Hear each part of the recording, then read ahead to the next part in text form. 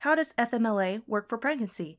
An employee's ability to use FMLA leave during pregnancy or after the birth of a child has not changed. Under the regulations, a mother can use 12 weeks of FMLA leave for the birth of a child or prenatal care and incapacity related to pregnancy and for her own serious health condition following the birth of a child.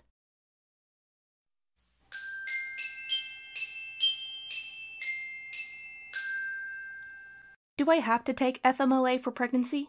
Yes, employees can use FMLA for pregnancy anytime they wish during the duration of the pregnancy and for one year after the birth or adoption of the child. The FMLA requires employees to request leave at least 30 days before taking it.